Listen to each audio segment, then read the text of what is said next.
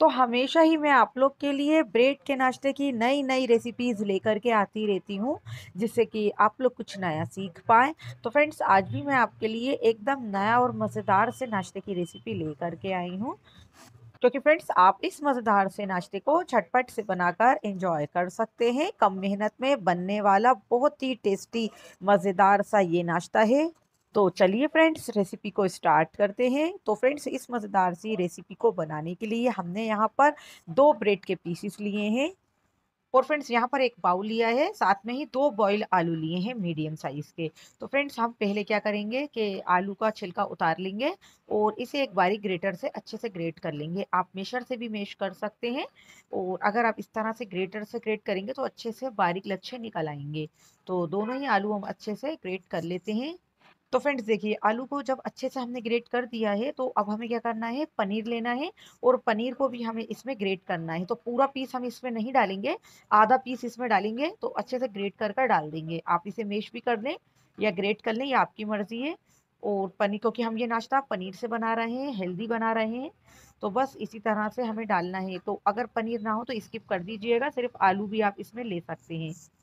और फ्रेंड्स, अब इसमें हम डालेंगे लाल मिर्च का पाउडर, ये ज़्यादा तीखी नहीं है। और अब इसमें डालेंगे हम आमचूर पाउडर। आप चाहें तो चाट मसाला पाउडर भी इसमें डाल सकते हैं। और फ्रेंड्स थोड़ा सा ज़ीरा पाउडर डालेंगे, ये भुने हुए ज़ीरे का पाउडर है। टेस्ट के अकॉर्डिंग नमक डालेंगे। और फ्रेंड्स, अब इसमें हम डाल रहे हैं एक चम्मच भर के चिली फ्लेक्स, ये ये तीखे नहीं होते हैं। और बारीक कट करके एक हरी मिर्च ली है हमने, इसे भी हम इसमें डाल देंगे। और फ्रेंड्स, मिर्च मसाले आप इसमें अपने टेस्ट के अकॉर्डिंग रखिएगा। अगर बच्चों के लिए बना रहे हैं तो आप इसमें मिर्च कम ऐड कीजिएगा।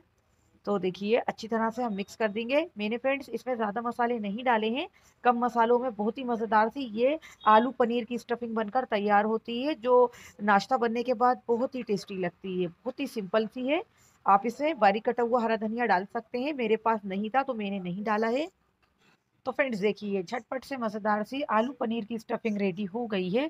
तो चलिए, अब हम आगे की तैयारी कर लेते हैं। तो देखिए, एक बाउल लिया है हमने। अब इसमें हमें डालना है वन थर्ड कप गेहूँ का आटा।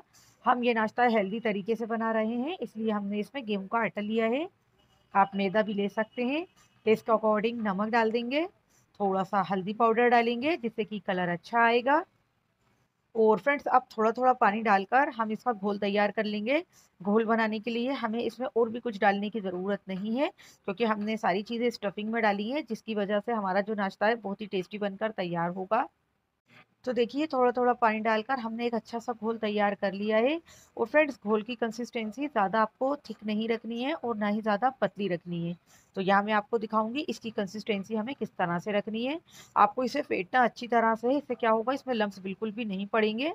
अब देखिए आप, इसकी कंसिस्टेंसी बस इसी तरह से आपको रखनी है, ना ज़्यादा गाढ़ी और ना ही ज़्यादा पतली। है बहुत ही अच्छी कंसिस्टेंसी में हमारा घोल रेडी हो गया है। ये देखिए। तो फ्रेंड्स, हमने यहाँ पर जो दो ब्रेड के पीसेस लिए थे ना, इसमें हमें टोमेटो केचप लगाना है। क्योंकि तो फ्रेंड्स, क्या होता है, हर घर में टोमेटो केचप अवेलेबल होता है, इसलिए मैं इसमें टोमेटो केचप लगा रही हूँ। आप इसमें पिज़्ज़ा सॉस या फिर शेजवान चटनी भी लगा सकते हैं। तो देखिए, नाइफ से अच्छे से स्प्रेड कर देंगे, अच्छी तरह से लगा लेंगे। और देखिए, जब दोनों ही पीसीस में अच्छी तरह से टोमेटो केचप लग जाता है तो हमने यहाँ पर जो स्टफिंग बना के रखी है, आलू पनीर की, इसे हमें अच्छी तरह से इसमें चिपका देना है। अच्छे से फैलाते हुए चिपका देंगे। हमने टोमेटो केचप लगाया है तो ये अच्छे से स्टिक हो जाती है। फ्रेंड्स अगर आप इस रेसिपी को बनाना चाहते हैं तो वीडियो को पूरा देखिएगा और ध्यान से देखिएगा। अगर आप आधा अधूरा वीडियो देखकर रेसिपी बनाते हैं तो आपकी जो ये रेसिपी है, गड़बड़ हो सकती है। आपको पहले वीडियो को फुल वॉच करना है, फिर आपको इस रेसिपी को ट्राई करना है। तो ही ये जो रेसिपी है, आपकी बहुत अच्छे से बनकर तैयार होगी। तो देखिए, हमने एक पीस में आलू पनीर की स्टफिंग अच्छे से लगा दी है दूसरे पीस में भी सेम इसी तरह से हमें लगा देना है।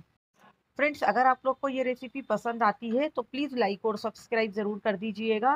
क्योंकि फ्रेंड्स, आप लोग वीडियो फुल वॉच कर लेते हैं, लेकिन लाइक और सब्सक्राइब नहीं करते हैं।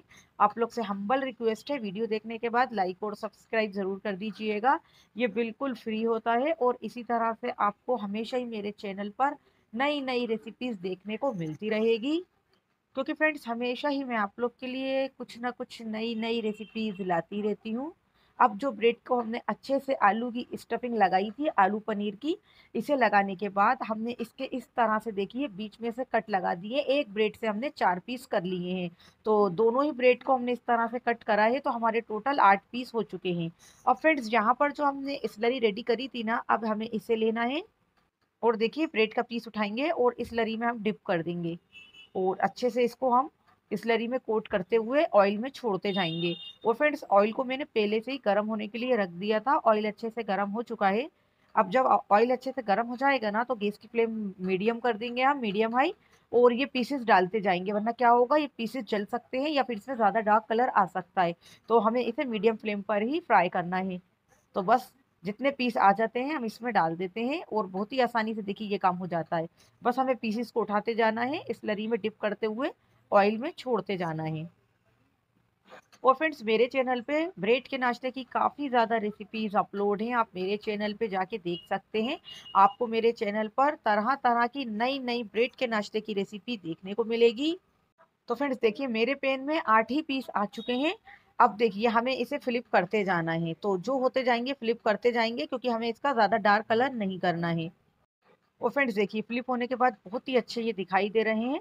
और फ्रेंड्स, ये चिपकते बिल्कुल नहीं है, बहुत ही आसानी से फ्राई हो जाते हैं। और फ्रेंड्स, देखिए, जब बहुत ही अच्छा सा कलर आ जाता है, दोनों ही साइड से अच्छे से ये फ्राई हो जाते हैं तो फ्रेंड्स, हमें क्या करना है, गैस की फ्लेम को ऑफ़ कर देना है और इस मज़ेदार से नाश्ते को निकाल लेना है। और फ्रेंड्स, हम जो भी रेसिपी लेकर के आते हैं, पहले हम घर पर खुद ट्राई करते हैं। जब इसका रिज़ल्ट अच्छा होता है, तभी हम आप लोग के साथ शेयर करते हैं, ताकि आप लोग भी इस मज़ेदार सी रेसिपी का लुत्फ उठा पाए। और देखिए फ्रेंड्स, सारा नाश्ता फ्राई होने के बाद मैंने निकाल लिया है। आपको ये नाश्ता देखने में जितना अच्छा लग रहा है फ्रेंड्स, खाने में आपको, उससे ये कई ज़्यादा टेस्टी लगेगा। और फ्रेंड्स आप इस मज़ेदार से नाश्ते को टोमेटो केचप के साथ, हरी चटनी के साथ, जैसा मन चाहे इंजॉय कर सकते हैं। आपको ये बहुत ही टेस्टी लगेगा। या फिर सिंपल भी आप इसे इंजॉय करेंगे ना तो भी आपको टेस्टी लगेगा। आप इस मज़ेदार से नाश्ते को बच्चों के लंच बॉक्स में दीजिए। बच्चे बहुत ही शौक से खाना पसंद करेंगे। आपसे बार बार इस मज़ेदार से नाश्ते की डिमांड भी करेंगे। अगर घर पर अचानक से मेहमान भी आ जाते हैं फ्रेंड्स और आपके घर पर अगर ब्रेड रखी हुई है बच गई है तो आप इस मज़ेदार से नाश्ते को ज़रूर बनाकर खिलाइए। मेहमानों को भी ये मज़ेदार सा नाश्ता बहुत ही पसंद आएगा। और इस मज़ेदार से नाश्ते को बनाने में सिर्फ़ आपको किचन के मौजूद सामानों की ही ज़रूरत पड़ेगी, बाहर से आपको कुछ भी नहीं लाना है। और फ्रेंड्स इस मज़ेदार से नाश्ते को मैं आपको चेक कर कर भी दिखाऊँगी, ये अंदर से कितना मज़ेदार दिखता है और कितना क्रिस्पी करारा टेस्टी ये नाश्ता बनकर तैयार होता है। देखिए, आप देख कर ही आपको लग रहा होगा। ये देखिए, मैं आपको इसे अंदर से भी चेक कर कर दिखा रही हूँ। देखिए, अंदर की स्टफिंग आपको क्लियर दिखाई दे रही है। बिल्कुल भी बाहर नहीं निकलती है। बहुत ही फ्रेंड्स, मज़ेदार नाश्ता है। और ये मज़ेदार सा नाश्ता फ्रेंड्स, एक बार बनाना तो बनता ही है। तो फ्रेंड्स, बनाइए, खाइए इंजॉय करिए। उम्मीद है आपको, आपके घर में सभी को ये मज़ेदार सी रेसिपी ज़रूर पसंद आएगी। अगर फ्रेंड्स रेसिपी पसंद आई हो तो प्लीज़ लाइक और सब्सक्राइब ज़रूर करें। साथ ही फैमिली और फ्रेंड्स में भी ज़रूर शेयर करें। कमेंट में ज़रूर बताएँ आपको मेरी ये टेस्टी, मज़ेदार, ब्रेड के नाश्ते की रेसिपी कैसी लगी।